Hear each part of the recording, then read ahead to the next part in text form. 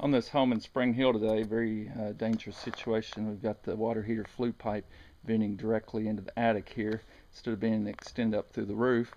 And you can see where it's even charred the wood framing here. Could have burnt the house down. Uh, charred the wood framing and the insulation here above it in the attic. Uh, and what makes it more deadly, it's pulling the deadly carbon monoxide right into the return air chase in the bonus room.